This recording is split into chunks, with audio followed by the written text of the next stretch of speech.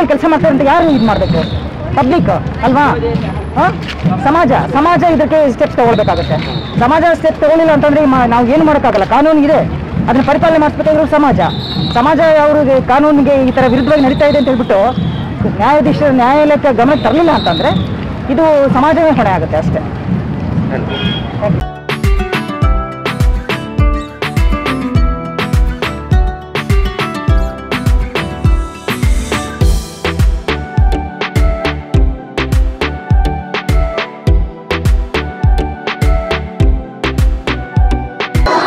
ಆತ್ಮಸಾಕ್ಷಿಯಾಗಿ ಪ್ರಮಾಣ ಮಾಡುವುದೇನೆಂದರೆ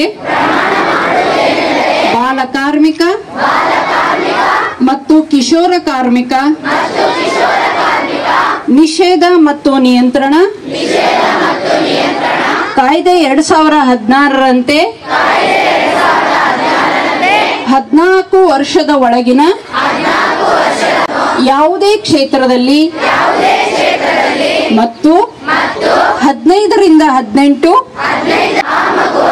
ಶಾಲೆಗೆ ಸೇರಿಸಿ ಜಿಲ್ಲೆಯನ್ನು ಬಾಲಕಾರ್ಮಿಕ ಮತ್ತು ಕಿಶೋರ ಕಾರ್ಮಿಕ ಮುಕ್ತ ಜಿಲ್ಲೆಯನ್ನಾಗಿಸಲು ಪ್ರಯತ್ನಿಸುತ್ತೇನೆಂದು ಪ್ರಮಾಣ ಮಾಡುತ್ತೇನೆ. ಧನ್ಯವಾದ.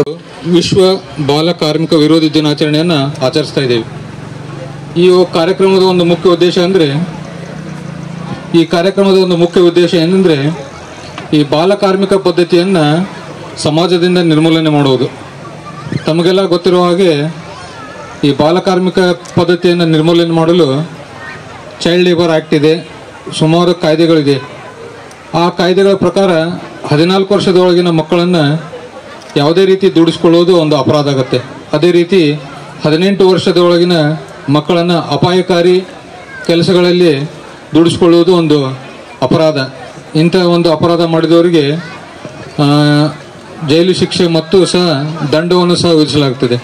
ಆದ್ದರಿಂದ ನಾನು ಈ ಕಾರ್ಯಕ್ರಮದ ವೇದಿಕೆ ಮುಖಾಂತರ ಕೇಳ್ಕೊಳ್ಳೋದೇನೆಂದರೆ, ಮಕ್ಕಳ, ಮಕ್ಕಳಿಗೆ ಶಿಕ್ಷಣ ನೀಡಿ, ಶಿಕ್ಷಣ ನೀಡಿದರೆ ಅವರಿಗೆ ತಮ್ಮ ಒಂದು ಮುಂದಿನ ಜೀವನವನ್ನು ಭವಿಷ್ಯವನ್ನು ಉಜ್ವಲಗೊಳಿಸ್ಬೋದು ಹಾಗಾಗಿ ಪಾಲಕರು ತಮ್ಮ ಮಕ್ಕಳಿಗೆ ಮೊಟ್ಟ ಮೊದಲನೇದಾಗಿ ಶಿಕ್ಷಣ ನೀಡಬೇಕು. ಶಿಕ್ಷಣ ನೀಡಿದರೆ ಮಕ್ಕಳಿಗೆ ಶಿಕ್ಷಣದ ಮಹತ್ವ ಏನು ಅನ್ನೋದು ಗೊತ್ತಾಗುತ್ತೆ ಮತ್ತು ಬಾಲಕಾರ್ಮಿಕ ಪದ್ಧತಿಯನ್ನು ನಾವು ಸಮಾಜದಲ್ಲಿ ನಿರ್ಮೂಲನೆ ಮಾಡಬಹುದು.